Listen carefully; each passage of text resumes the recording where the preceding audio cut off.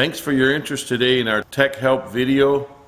The Tech Help video today is titled Burner Runs Great All Day but Needs Reset Most Mornings and we're referring to the meter pump system on this video.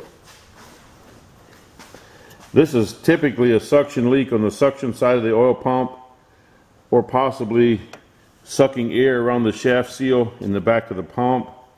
To check this, follow the instructions in our meter pump book that came with the furnace Either close off the quarter turn valve on the suction side or cap off the suction side fittings.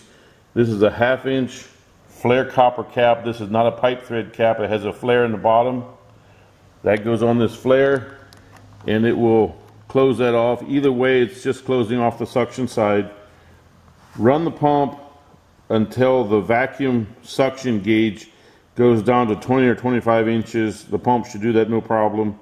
Let it set for 15 minutes. It may lose one to two inches of vacuum, but then it should stay for 15 minutes or more down at the low vacuum. Also, while it has the vacuum, push the pump shaft seal sideways. This is the pump. The shaft seal, push it left and right and up and down and sideways.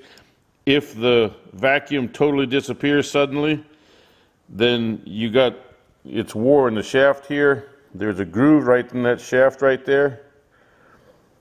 Or the seal could be wore. If, if the vacuum disappears when you shake the shaft, replace the pump.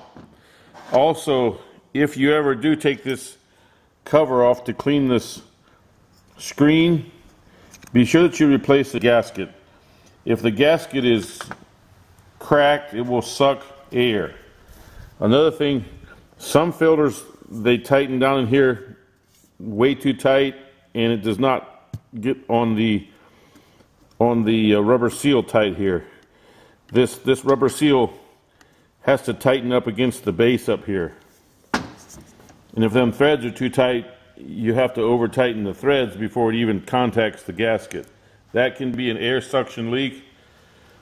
Other things, some people use compression fittings. These compression fittings suck air that will not hold vacuum on the suction side. Be sure you use a flare copper line on the suction side and do not cut it off where it goes through the top of the tank. This is a bracket that it goes down through there. Cut it off 8 inches off the bottom of the tank. If you have pipe threads on the top of your tank, you can put a compression fitting on here and then if you drill that fitting through the fitting can go down the tank with threads and you can go way down in then you tighten this compression. That holds it up eight inches off from the bottom. That works very well. Then the copper line is seamless from this fitting to near the bottom of the tank. This is a cleanable suction filter. There's nothing wrong with them.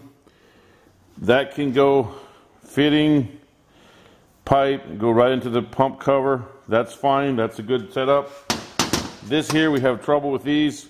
It's too long, the, the fitting cracks here, gets bent. People fill this here with oil. They forget to put Permatex on that plug. That will suck air. Other thing is cheap quality fittings, cast iron fittings, poor threads, even some brass fittings are cheap have poor threads on them. Do not use a uh, three-piece pipe union. This looks like it would work, but these things suck air. You can use this here. This is an inverted flare, similar to what a hydraulic hose got on. It's got a, a taper in here, and it's got a uh, an inverted flare in there. Do not use just a regular straight in. It must be inverted. Has to have a flare in there for them fittings to work together. A lot of hydraulic hoses have the same thing. That has an inverted flare on. You can put this on the hydraulic hose and that into the filter. That's fine. Use Permatex on all your fittings. Just regular Napa or Aviation or Indian head shellac. Permatex works great. Teflon tape will suck air Use a good quality fitting. Don't use plastic fittings. Hose clamp will smash it flat. It'll suck air. A lot of your hoses are not oil proof. Don't use CPVC for the suction line. That's problems.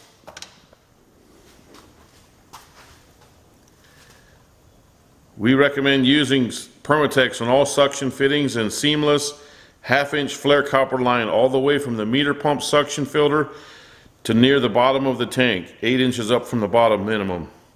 If you still have problems, see our eight page technical help on our website. It's eight pages long and you can print it out and take it right over to your furnace. Hope this video helps you and thank you for watching.